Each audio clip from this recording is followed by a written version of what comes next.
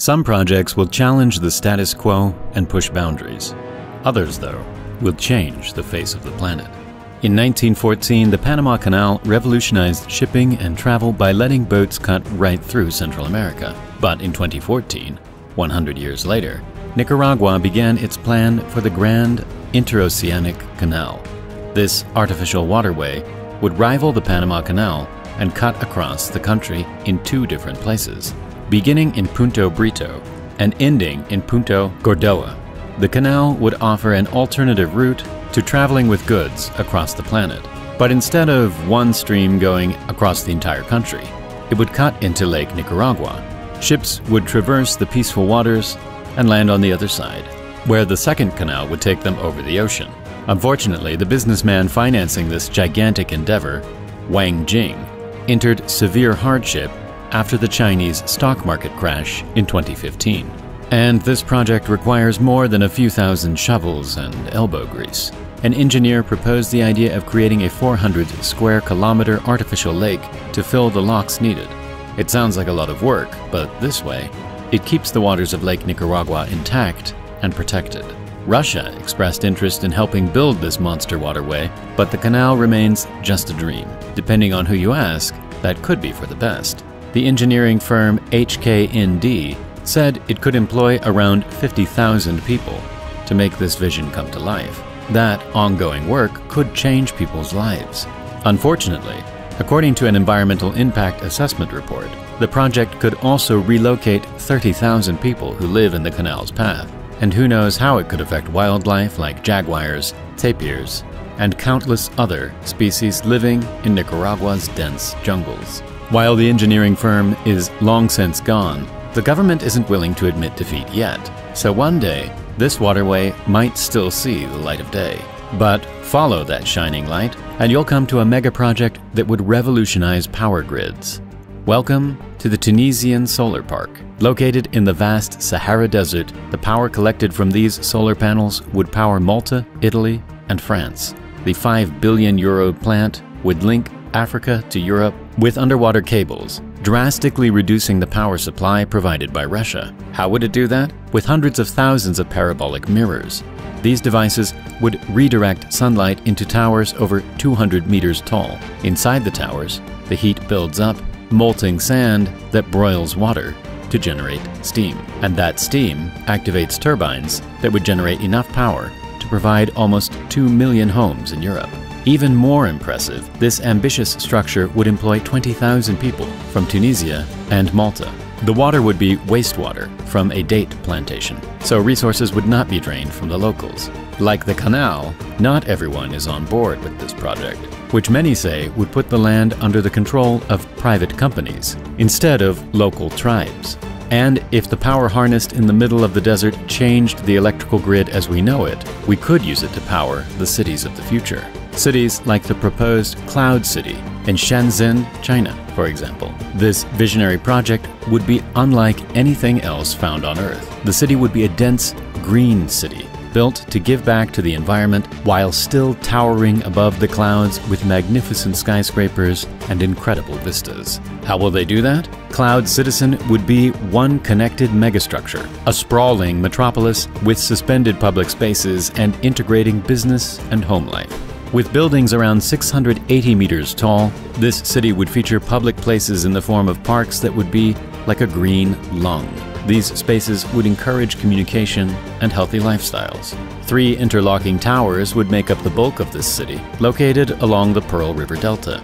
The surface area would be just under the size of Monaco, the second smallest country in the world. But Cloud Citizen wouldn't just be a massive strip mall. This structure would be a self-contained city within a city. The buildings would harvest rainwater and use the latest green technology to collect power from the sun, wind, and even algae.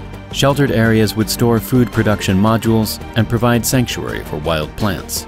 Even if you never left the futuristic urban cityscape of Cloud Citizen, you could remain close to nature within these walls.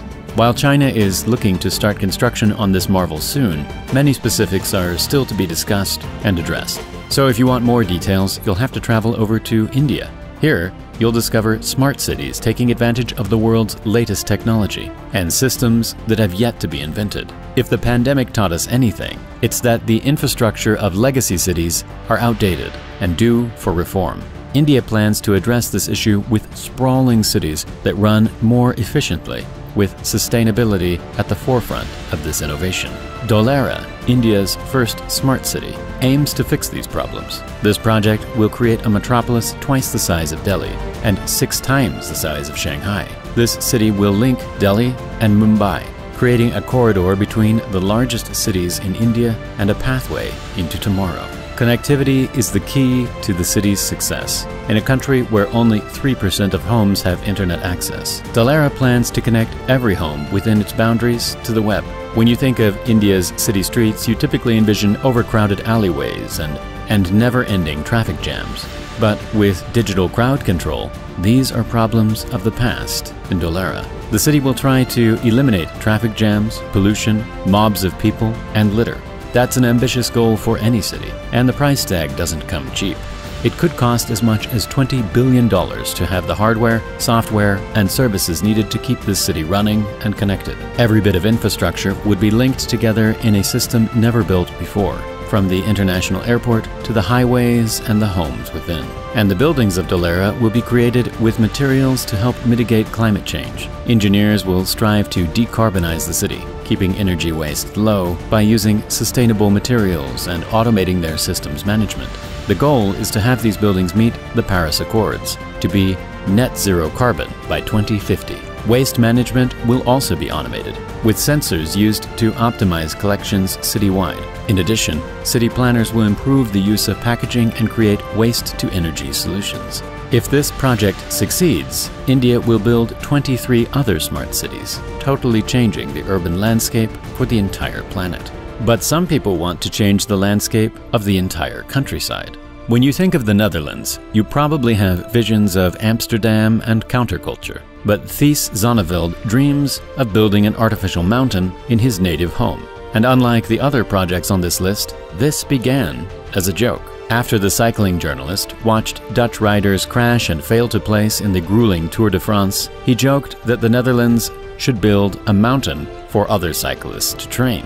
But then he took another look at the flat land outside the window and thought, why not? And after he published a tongue in cheek article, the writer was flooded with emails that didn't share his sense of humor. They were serious about building a mountain in the serene Dutch landscape. The people didn't want some easy hill to climb either. No, studies went forth to create a 2 kilometer high mountain. This monster would take up to 7.7 billion cubic meters of sand. All that mass would weigh 12.6 billion tons. And that amount of sand and dirt would push down the surrounding area by 100 meters and affect ground levels up to 50 kilometers away. All this material and effect would cost up to 7 trillion euros. That price tag made everyone adjust their expectations a bit. They settled on a 500 meter high mountain, with a hollow structure instead, and inside it would hold vertical agriculture and housing. And for all you sports enthusiasts, don't worry, the engineers didn't forget about you. The inclines on the outside would sustain waterfalls, ski slopes, and plenty of hairpin turns for the cyclists. Unfortunately, in 2013, an economic crisis hit the Netherlands hard, and the plans were scrapped for now. But the spirit of the Dutch lives on, and who knows, maybe this artificial mountain will someday rise from the ground. What's your favorite project on the list? Did we miss your favorite? Let us know in the comments, and make sure to like this video and subscribe for the most innovative megastructures known to humanity in the next episode. Thanks for watching.